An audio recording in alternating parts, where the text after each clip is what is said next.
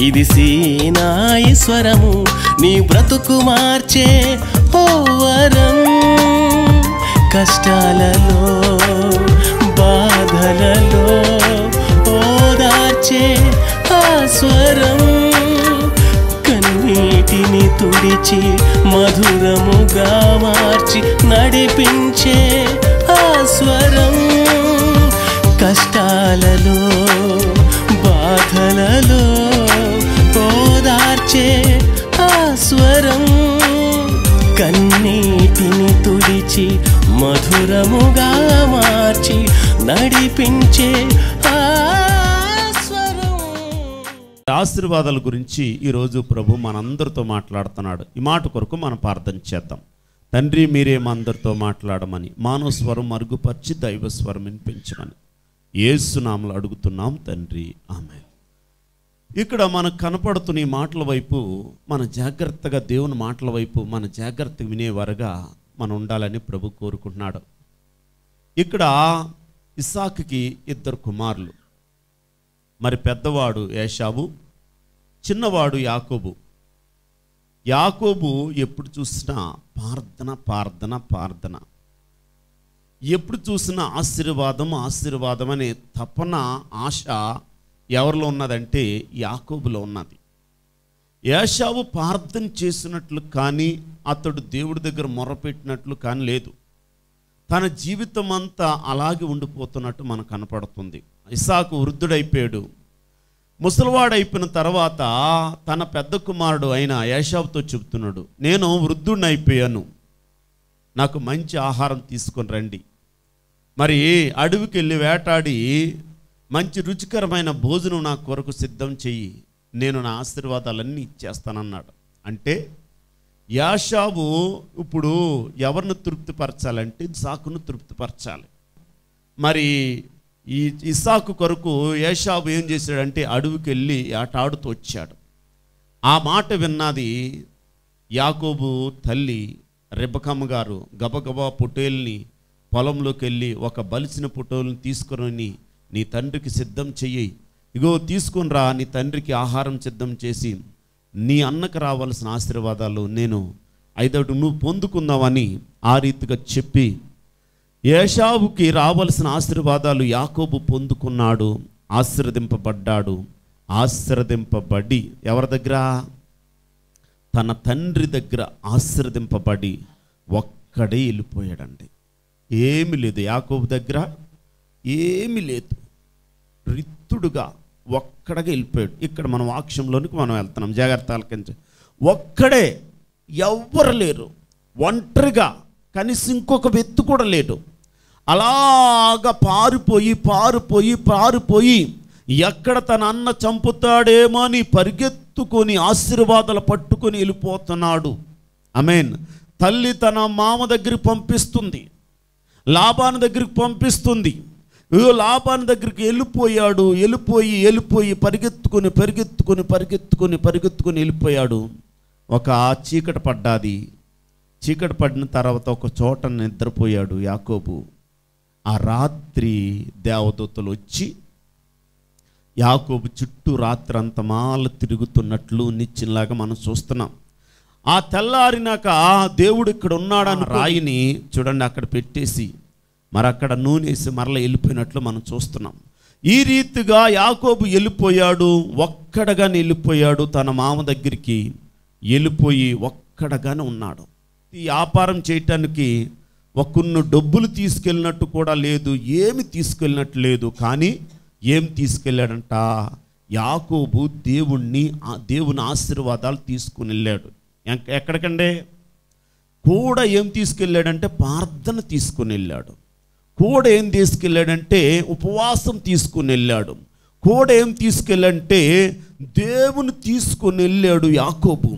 యాకోబు కొన్ని సంవత్సరాలు ఇంచుమించు ఇరవై సంవత్సరాలు అక్కడ ఉండిపోయాడండి ఇరవై సంవత్సరాలు అక్కడ ఉండిపోయి అక్కడి నుంచి మరలా తిరిగి వస్తున్నాడు. ఒక్కడికి వెళ్ళాడు యాకోబు. ఇప్పుడు విస్తారంగా దేవుడు ఏం చేశాడు తెలుసా? యాకోబు అడుగుపెట్టు ప్రతి స్థలాన్ని దేవుడు ఏం చేశాడు తెలుసా? దీవించాడు. యాకోబు అడుగుపెట్టి ప్రతి స్థలంలో దేవుడు ఆశీర్వదించాడు. ఆ ఆశీర్ సమృద్ధమైన ఆశీర్వాదాలు పట్టుకొని గో సమృద్ధమైన దీవులు పట్టుకొని ఒక్కడికి వెళ్ళాడు. అనేక మంది పిల్లలతో వస్తున్నాడు యాకోబు. ఒక్కడికి వెళ్ళాడు. చూడండి అనేక మంది పనివాళ్ళతో వస్తున్నాడు మరలా తన ఊరికి. అమేన్ అనే ఒక్కడికి వెళ్ళాడు. అనేక దీవులు పట్టుకొని వస్తున్నాడు. ఇక్కడ మనం జాగ్రత్తగా పరిశీలించి చూసినప్పుడు ఆ సమృద్ధిగా దేవుడు యాకోబుని దీపించేశాడంటండి అమెన్ తన అన్నకి ఆశీర్వాదాలు కానుకగా ఇస్తున్నాడంటే ఏమి ఇస్తున్నాడు చూడండి. రెండు వందల మేకలు ఇస్తున్నాడంట. ఎవరికి?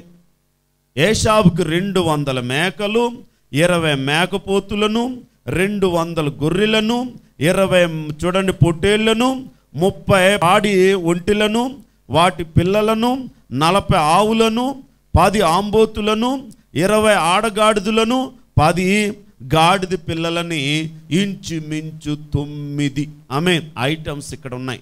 అమెలలుయా అంత ఆశీర్వాదం. అంటే అందుట్లో కానుకే తీసుకొని వస్తున్నాడు. ఎవరికంటే అందుట్లో కానుక తీసాడు అన్నిట్లో ఏం చేశాడు? తన అన్నకి కానుకగా ఇన్ని ఇస్తున్నాడు. అమెన్ ఇంత చూడండి ఇవన్నిట్లు పట్టుకొని ఒక్కొక్క పని వాడుతూ చెప్పాడు. అయ్యా నువ్వు ఎడంగా ఇల్లు. అమెన్ చూడండి ఇదిగో నా త- నాన్న అడిగితే ఇదిగో ఇది చూడండి యాకోబు నా చూడండి నా యజమానుడు వెనకాల వస్తున్నాడు అని మీరు చెప్పండి అన్నాడు. అమెన్ ఇక్కడ మన జాగ్రత్త పరిశీలించి పని వాళ్ళను పంపించేశాడు దాసదాసులను పంపించేశాడు యాకోబు భార్యలను పంపించేశాడు యాకోబు పిల్లలను పంపించేశాడు. ఒక్కడగా వెళ్ళిన యాకోబు ఎంత ఆశీర్వాదం పట్టుకొని వచ్చాడండి. నీవు దేవుని నమ్ముకున్న నీవు నా కుమార్తె.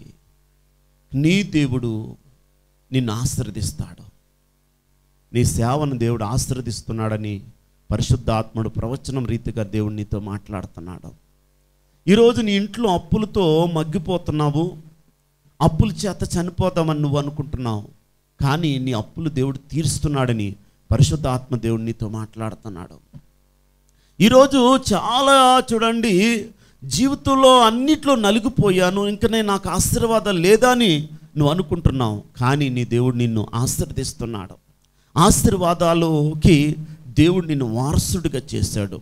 ఇక్కడ యాకోబు ఒక్కడిగానే వెళ్ళాడు.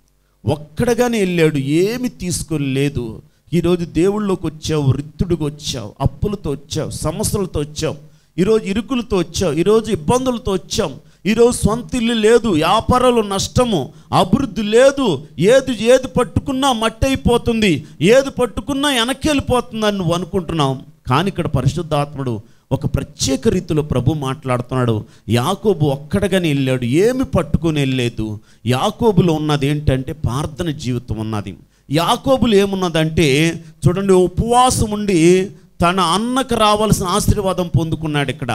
ఈరోజు ఈ ఉపవాస దినాల్లో ఈ ప్రార్థన దినాల్లో మనం ఉన్నాము దేవుడు నిత్యముగా ఖచ్చితంగా నిన్ను యాకోబుని దీవించినట్లు దేవుడు నిన్ను దీవించబోతున్నాడు. యాకోబుకి ఎంత ఆస్తి ఉన్నదంటే ఇప్పుడు నువ్వు చూడు. యాకో యాకోబుకి ఎంత దీవులు ఉన్నాయంటే యాకోబు తన అన్నకి ఎంత కానుకిస్తున్నాడు. అంటే ఇంకా యాకోబుకి ఇంకా ఎంత ఉన్నదో ఒక్కసారి నువ్వు పరిశీలించి చూడు. యాకోబు అడుగుపెట్టి ప్రతి స్థలము దేవుడు దీవించాడు. మరి నిన్ను కూడా దేవుడు నువ్వు ఎక్కడ అడుగుపెట్టి పా చూడ ఉన్నావో? నువ్వు వ్యాపారంలో ఎక్కడ నిలబడుతున్నావో? ఆ వ్యాపారం నిలవ దేవుడు దీవిస్తాడు. ఆశీర్వాదంతో దేవుడు నింపుతాడు. దేవుడు నిన్ను కృపతో దేవుడు నింపుతున్నాడు. నిన్ను ఆశీర్వాదాలు కర్తగా దేవుడు చేస్తున్నాడు. అన్ని విషయంలో దేవుడు నిన్ను దీవిస్తున్నాడని పరిశుద్ధాత్మ దేవుడు నీతో మాట్లాడుతున్నాడు. అంతేకాని నువ్వు ఆశీర్వదించబడలేవని నువ్వు అనుకోవద్దు. నీ దేవుడు నిన్ను పిలిచింది ఎందుకు తెలుసా? ఇన్ని కోట్ల ప్రజల అన్యులు ఉన్నారు దేవుడు అంటే తెలియని వారు ఉన్నారు. వాళ్ళందరిలోంచి దేవుడు నిన్ను పిలుచుకున్నాడు. ఎందుకు తెలుసా? దేవుడు నిన్ను దీవించటానికి దేవుడు నిన్ను ఆశీర్వదించటానికి నీ సమస్యల నుంచి తీసేయటానికి నీకున్న అయ్యో ప్రాబ్లము నీకున్న సమస్యలు నీకున్న ఇరుకులు నువ్వెందుకు బాధపడుతున్నావు? నువ్వెందుకు ఏడుస్తున్నావు? నువ్వెందుకు కన్నీళ్ళతో ఉంటున్నావు? ఎందుకు దుఃఖంతో ఉంటున్నావు? ఆ దేవుడు పిలిస్తే పలికే దేవుడు. ఆగర్ ఏడుస్తుంటే ఆగర్ కన్నీరు తోడలేదా? ఈరోజు నీ కన్నీరు కూడా తుడుస్తాడు. కుటుంబంలో ఎందుకు బాధ కలుగుతుంటున్నావు? ఎందుకు నీ భర్త కొరకు నువ్వు ఎందుకు చనిపోవాలనుకుంటున్నావు? ఎందుకు నీ భర్త కొరకు ఎందుకు దూరం వెళ్ళిపోవాలనుకుంటున్నావు? ఎందుకు నీ భర్త ఇంకా నేను మారడని నువ్వు ఎందుకు అనుకుంటున్నావు? ఈరోజు ఉపవాసం ఉండి రాత్రి ప్రార్థించి. నీ దేవుడు ఉపవాస ప్రార్థన ఆలకించి నీ భర్తను దేవుడు ఖచ్చితంగా మారుస్తాడు. ఒక వ్యక్తి ఒక స్త్రీ తన భర్త తాగుబోతు భర్త కొరకు ఇంకెందుకు చనిపోదాం అనుకున్నదంట.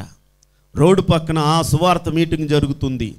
ఆ సువార్త మీటింగ్లో ఒక దైవజనుడు మాట్లాడుతున్నాడంట. ఎందుకు భయపడుతున్నావు? తాగు నుంచి బంధకాల నుంచి సమస్యల నుంచి సాతాను కట్టుల నుండి ఇగో అనేక సమస్యల నుండి దేవుడు నేను విడుదలిస్తాడని మరి వాక్యం ద్వారా దేవుడు మాట్లాడుతుంటే దైవజనులోంచి ఆ స్త్రీ చనిపోదాం అనుకున్న ఆ స్త్రీ ఎంటనే ఎంటనే ఆ వాక్యం దగ్గరికి వచ్చి వాక్యం అయిపోయే వరకు ఉండి చూ చూడండి నా భర్త మారతం లేదు. మరి ఏం చేయమంటారని దైవజనుడి కొరకు దైవజనుడి దగ్గరికి వచ్చి మాట్లాడినప్పుడు ఆ దైవజనుడు చెప్పాడంట అమ్మా నువ్వు మూడు రోజులు ఉపవాసం ఉండు నేను కూడా ఉపవాసం ఉంటాను. నువ్వు ప్రార్థన చే నేను కూడా ప్రార్థన చేస్తాను. దేవుడు గొప్ప కార్యం జరుగుతుంది అన్నప్పుడు మరి వెంటనే ఆ మూడు రోజులు ఉపవాసం ఉన్నది. నాలుగో రోజు తన భర్త త్రాగుతుంటే చూడండి ఆ త్రాగుడంతా వాంతులు అయిపోతున్నాయి అంటే చెమటలు ఎక్కువైపోతున్నాయి. ఎంటే పరిగెత్తుకొని ఇంటికి వెళ్ళిపోయాడు ఇంటికి వెళ్ళేటప్పటికి తన భార్య ఏడుస్తుందంట. అయా తాగుబోతున్న భర్తను మార్చయ్యా మార్చయ్యా మార్చయ్యా అన్నానంట దేవుడు ఆమె మూడు రోజులు ఉపవాస ప్రార్థన ఆలకించి దేవుడు అద్భుతంగా తన భర్తను మార్చాడు.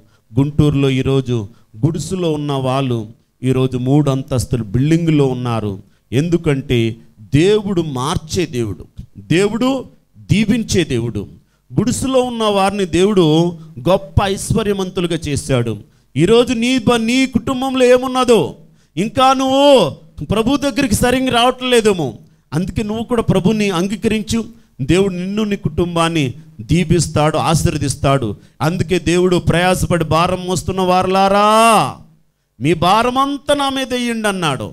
సిలువ భారమే కాదు సమస్యల భారం కూడా మన మీద వెయ్యండి అప్పుల భారము భార్య మీద భారము భర్త మీద భారము ఇగో మన సమస్యలన్నీ ఆయన మీద వెయ్యండి ఆయన చక్కగా మోస్తాడు. మనమైతే మనం ఎవరిని మొయ్యలేము మన పిల్లలేమో మనం మొయ్యలేము. సమస్త సృష్టిని మోసే శక్తిమంతుడు ఎవరైనా ఉన్నారంటే యేసుక్రీస్తు ప్రభారం ఆ యేసుక్రీస్తు ప్రభారు చెబుతున్నారు ప్రయాసపడి భారం మోస్తున్న సమస్త జనులారా నా యొద్దకు రండి నువ్వెవరువైనా సరే నీకు ఎట్టి భారం ఉన్నదా ఇంట్లో ఏ సమస్య ఉన్నదా ఏ ఉద్యోగం లేదా? వ్యాపారంలో నష్టపోతున్నావా? సమస్యలతో కుమిలిపోతున్నావా? ఇంట్లో ఆశీర్వాదం లేదా? శాంతి సమాధానం కోల్పోతున్నావా? ఇంట్లో నెమ్మది లేదా? ఇంట్లో మనశ్శాంతి కరువైపోయిందా? అయితే దేవుని మందిరానికి రా. నీకు శాంతినిస్తాడు నీకు సమాధానం ఇస్తాడు నిన్ను దీవిస్తాడు నిన్ను పైవాడుగా చేస్తాడు నిన్ను అభివృద్ధి చేస్తాడు. ఒక్కడే యాకోబొక్కడే వెళ్ళాడు గొప్ప ఆశీర్వాదం పొందుకున్నాడు. నువ్వు ఒక్కడగానే వచ్చి మందిరానికి రా. ఎంతగా దేవుడు నిన్ను దీవిస్తాడంటే అంతగా నేను దేవుడు దీవిస్తాడు.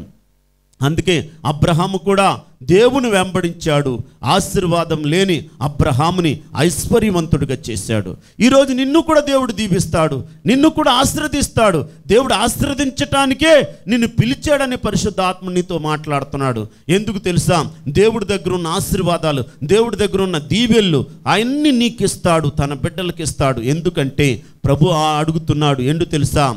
ఒక తండ్రి ఉన్నాడంటే తన వెనక తన కుమారులకి వారికి ఆస్తి అంతా వారిదే.